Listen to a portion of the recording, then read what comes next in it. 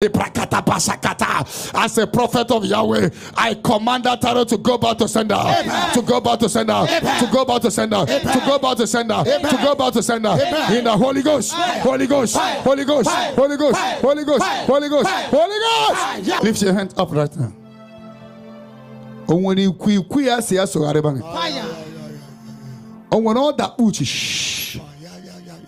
Welie aka elu.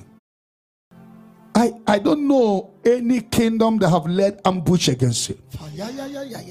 Have they led ambush to catch you? Fire. Are they set to disgrace you? Fire. Are they set to mess you up? Fire. From the east, west, north, and south. Fire. May their dominion collapse tonight in the name of Jesus. Hey, hey. Any man or woman set to blackmail you. Fire. Have anybody collected money to disgrace you? Have anybody collected money to disgrace you? Fire. Have anybody collected money to set you up? Fire. The Bible said they shall gather, but if their gathering is not of God, they shall scatter. In any way they have gathered against your ministry Fire. to seek the end of Zion. As many that have collected money for blackmail. Le bragata bashakata. Le brokoto shekete shandalaba. Any man or woman going from one native to another for you. Eke rebo shandala. Any kingdom that have waged war against you. Together we command their dominion to scatter by fire. To scatter by fire. To scatter by fire.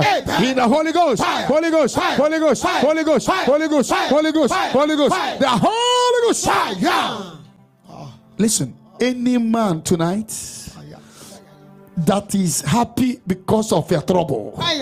Let that person carry that your trouble. Let that person carry your sickness. Deuteronomy 7:15. The Lord said, I will take your sickness and give it to your enemies. Tonight, all the sickness that have visited this ground, let those that vow to see your enemy, they carry it. Let them carry it. I prophesy, and so shall it be in the name of Jesus.